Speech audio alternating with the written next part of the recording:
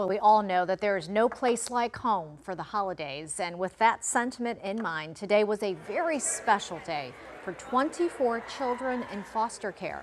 They joined their forever families after adoptions were finalized at the Madison County Courthouse in Edwardsville today.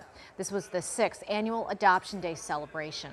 We spoke with a family who decided to adopt their foster children today after five years. It's a long time coming. These girls are, they came into our home as strangers and they're staying as family.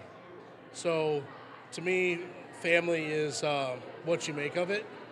Um, it's not necessarily blood, it's, it's love. And you make, you make your family.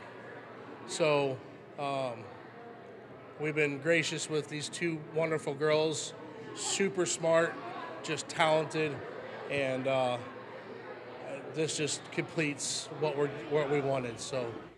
The finalizations were followed by a celebration that included a balloon arch, you see there, balloon animals, a magician, and t-shirt decorating Disney characters, superheroes, and even Santa Claus made special appearances to join the festivities.